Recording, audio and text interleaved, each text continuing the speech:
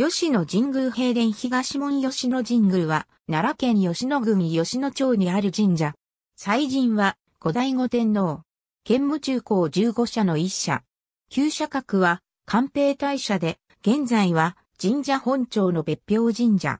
旧社名吉野宮。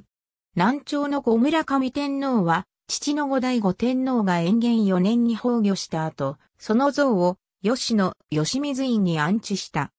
以降、仏教式の供養が行われていたが、明治時代に入って、神仏分離が行われると1873年に、吉水院は、五代五天皇を祭神とする、五代五天皇社という神社に改められ、2年後に、吉水神社と改称した。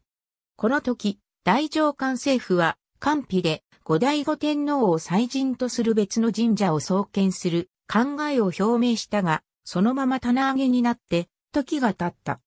1889年6月22日に、五代五天皇を祀る、官兵中社、吉野宮の創建が、明治天皇の意向で決定した。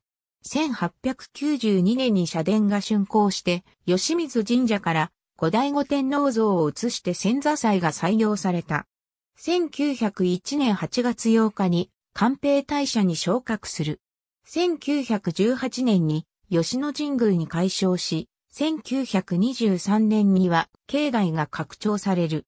1927年に現本殿が上等、宿舎社が完成する。1928年現拝殿が竣工する。1929年には神門が竣工。1930年、大鳥居が竣工する。1998年、現、時間が完成した。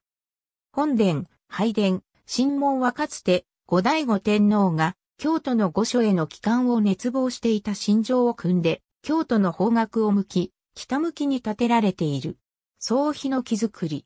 近代神社建築の代表とされる。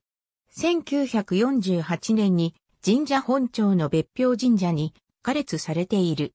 境内は、桜の名所であり、金剛山や、桂木山が遠望できる。ありがとうございます。